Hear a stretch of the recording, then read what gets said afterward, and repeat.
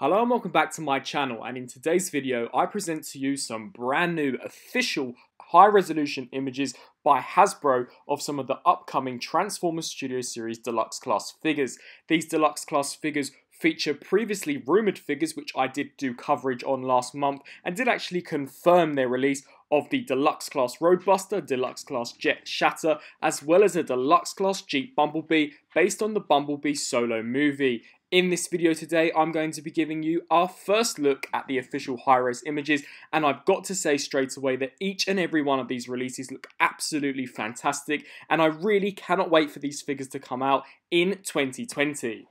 The first figure I'll be discussing is the Jeep version of Bumblebee based on his appearance from the opening sequence in the Bumblebee movie. As you can see here we have an image of both Bumblebee in his robot mode as well as his vehicle mode and I definitely think that this is the best deluxe class representation that we've got of Bumblebee from Hasbro based on his appearance from the Bumblebee solo movie. This is definitely the most CGI accurate figure of Bumblebee from that movie and I think that he looks absolutely incredible in his robot mode. As you can see he has a very screen accurate looking head sculpt with a fantastic chest design of the Jeep. We can also see that this figure will also include a blaster, which is something that I don't believe we see the Bumblebee use whilst in his Jeep mode, but nevertheless it is a nice inclusion and does appear to have some nice detailing. I really love the very blocky design of the lower section of the figure's legs, very accurate to what we see in the movie, and I think that the wheel placement on the back too is also very accurate. I'm also a massive fan of the figure's colour scheme, with the overall colour scheme of the figure being majoritively yellow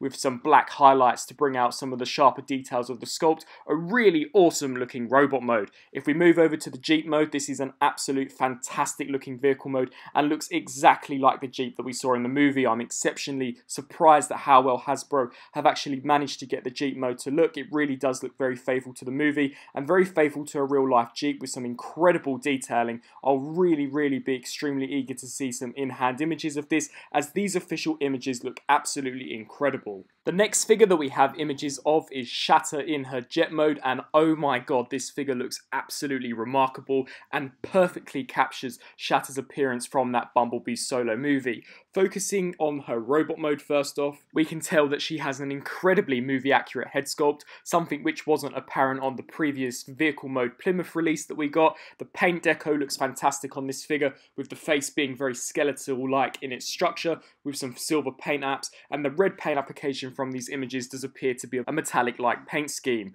We can see that they have gone the extra mile, despite this being the jet mode shatter and actually included some vehicle mode components, specifically in the chest, just so that we can in fact see the triple changing aspect of what this character is supposed to resemble. We can see the jet wings situated on her back in a very faithful movie accurate looking position, which I think looks absolutely incredible. We can also see her wielding her blasters, which too look really, really well done. And just all of the detailing in the torso really, really does look sublime. They've actually gone the extra mile and placed one of the landing gears directly in the center of her chest, which is of course accurate to the movie. And we've just got to take in consideration how well proportioned she truly is. Her legs are incredibly agile and are incredibly slender, much like the CGI design, unlike the previous release. And I really think this figure looks exceptional in her robot mode. We can definitely see that Hasbro had a lot more time and a lot more care given to this figure than they did with the previous release. And it's definitely going to be the best representation of Shatter, I can 100% tell you that now.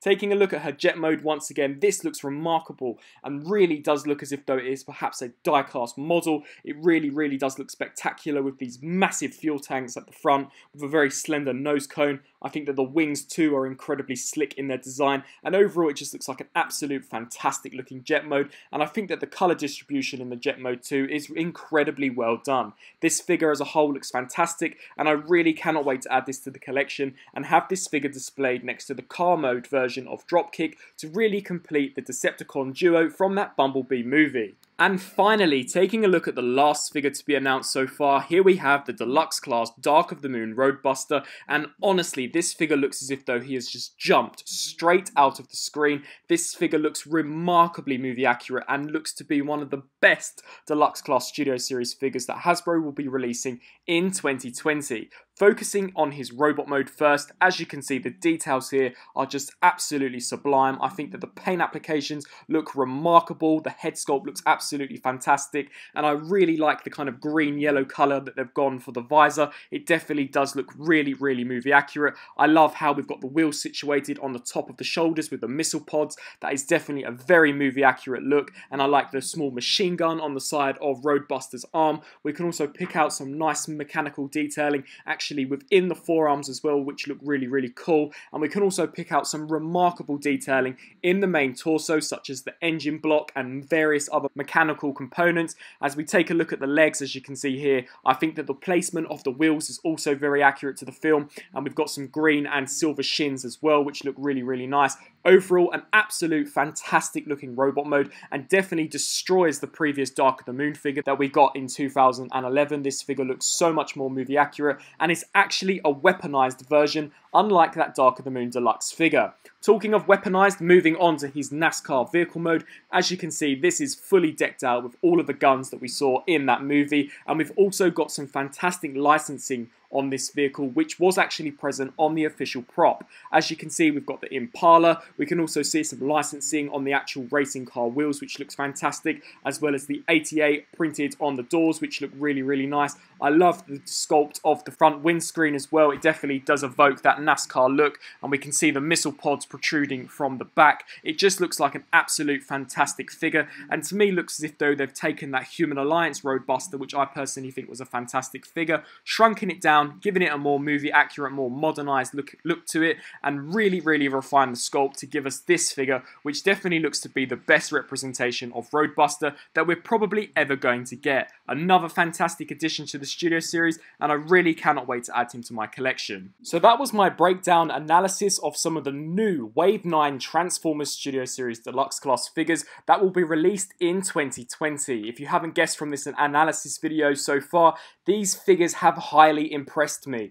Roadbuster looks absolutely incredible and couldn't get any more movie accurate if Hasbro tried. Shatter is an amazing improvement over the previous version. She looks exactly how she did on screen and I honestly couldn't wish for a better looking jet version of her. I think her robot mode looks incredibly streamlined and very slick much like the movie and her jet mode 2 is incredibly faithful to that movie design. She really, really does look incredibly impressive, and I cannot wait to get her and add her to the collection, posed alongside the car mode version of Dropkick. Talking of Bumblebee movie characters, I think that the Jeep mode Bumblebee also looks really, really awesome as well, and is very, very faithful to what we see in that very brief scene in the Bumblebee solo movie. His robot mode looks really, really cool, and I'm really surprised at the level of detail that Hasbro went in nailing the look of the Jeep mode. These figures all look fantastic and I'd be really eager to see what you thought of these releases down in the comment section below. So please be sure to let me know your thoughts on these down in the comment section below. Until my next video, I'll see you then. Thanks for watching.